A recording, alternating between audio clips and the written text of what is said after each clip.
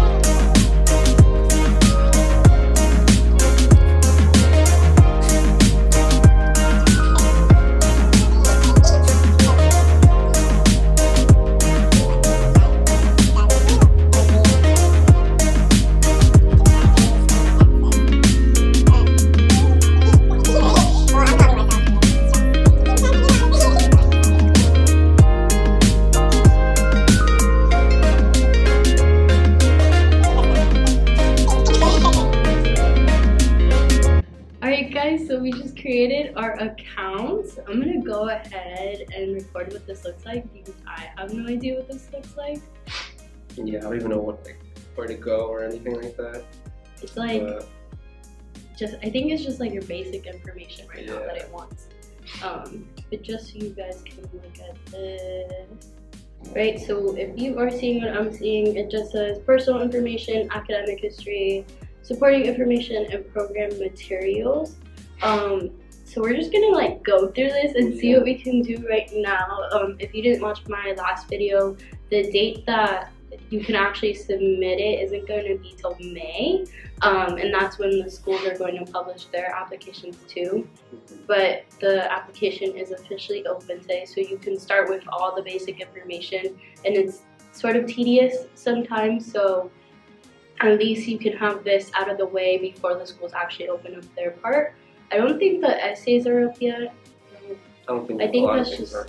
That's just part of the schools um, And it's not application. the deadline isn't until the 15th Yeah, it's of not uh, September September 15th. 15th, so you have like a long time to procrastinate and not do it until the last minute. So Well, I'm definitely not going to procrastinate. I'm, so right now, um, I'm looking at the academic history one, and it just everything you've done, like high school, colleges attended, transcript en- entry, which obviously I won't enter my transcript until after the summer semester.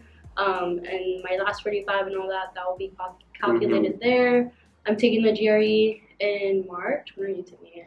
probably the same time, I'll probably do it in March and in the summer as well. Retake, do it two times. See how I There's- do. Well, I, I don't know how it works. Oh, there's What? this thing called ad program. I don't know what that means. Oh. What is that? I don't know what that means. Wait, which one are you on? You're on personal information? On my application next to it, it says history. ad program. Like Program uh, materials? Yeah. Add a program. If you've done this application before and you know what that means, comment below because we're obviously lost. You have not selected any programs to apply to. Add a program. That might be like the school. Yeah, I think it's the school, so I'm looking University of Florida.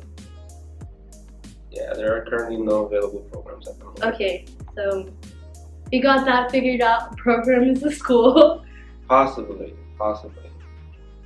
Even then, we don't know. Skip Skip, for now. now. I, didn't see that button, so um, personal information, you know, obviously like everything about yourself, your identity, which I will not be sharing here, and supporting information. Oh, so you can get your recommendations done now, and you can also get all like the experiences that you have so far. You can put that up now, um, and any achievements that you've accomplished. Mhm. which I know sometimes this is also very tedious, like hearing from past applicants that this just takes a really long time to do. So you can also just get that out of the way now. I know I'll be doing that. but that's just basically what's open on the application. What's your plan? My plan is to start on the supporting information and do all like the hours because apparently that's like the most tedious is getting all your hours in. so And- you go to add an experience? Yeah. And it's just like what counts as an experience, like what, what qualifies for everything. That's the most tedious part. Like, what do you put everything under? From what I've heard. Um, but other than that, I think I need to do the like the the transcripts for like you know dual enrollment and Yeah. all that stuff, and personal information. I feel like that's easy to get through. Yeah, essays is the one that's like Oh wait, there are some essays. the essays, Okay. the general essays for Where the VMCAS. application. Personal information. Personal. Really? Personal, know. I feel like It's that's crazy. Okay. Essays. So there are some essays available, but not some schools have like their own essays. So these are just like the general VMCAS ones. Well, I think the way it works is that these, yeah, these are the general ones, Yeah. and then yeah, they have their own specific ones that you still have to do. So yeah, it's yeah, But they'll be taking a look at these too. yeah, pretty sure. Yeah. So the three questions are. Am I allowed to say that? Yeah, Okay, you can. You so- can. Everybody has these uh, essay questions. The three essay questions are there are many career choices within the veterinary profession. What are your future career goals and why? Do you want to read the second one? In what ways do veterinarians contribute to society, and what do you hope to contribute? And then the last question is consider the breadth of society which veterinarians serve. What attributes do you believe are essential to be successful within the veterinary profession? Of these attributes, which do you possess and how have you demonstrated these in? These are some heavy essay questions. I also feel like they're kind of general, They're very general, but you know, you want to be specific to what you've done. Yeah. So that's sort of the application. I'm definitely feeling the stress right now. It's kind of scary that we're already opening it, and a year from now we'll either be invited back to interviews Yeah. or not, and finding out decisions. But that's fine. I'll take you through this process with me, and maybe a year from now we can submit our applications together yeah, too. you yeah, you So- never know. You'll see us again Yeah. doing the same thing. Um, but thank you guys for watching. We'll do a little fun clip. We actually took the scooters here, and we're gonna take the scooters back. yeah. um, there's these new scooters on campus called Spin. So you don't know what that is, get yourself a Spin scooter. They're really fun. Um, I'll keep you guys up to date on what I'm doing with this, this application. But right now, I'm definitely just going to be filling out that personal information, program materials, academic history that I've already completed. Um, and I'm definitely going to start working on those essays and see what I can do with those and have some people peer review them. Yeah, Nubia is probably gonna get really far. She's been talking about this since what, like last year, stressing me out.